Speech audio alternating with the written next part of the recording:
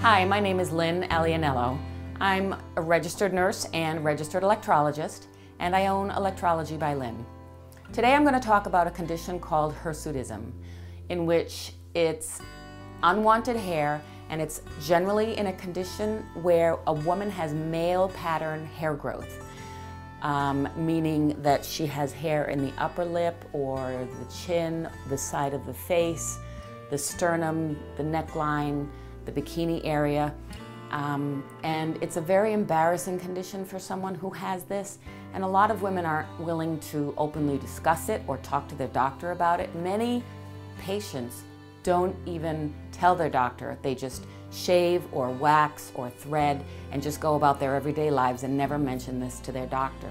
And it's important that you do mention this to your doctor because there are oftentimes an underlying cause for the hirs hirsutism.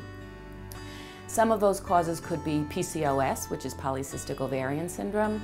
It can result in infertility. It can result in hirsutism, and it's a condition that can be remedied if you let your doctor know that you have it. Um, another reason why someone could have hirsutism is a thyroid disorder or adrenal hyperplasia or menopause. So don't be afraid to admit that you have a condition called hirsutism to your doctor because there can be a solution from the medical aspect and from the hair aspect.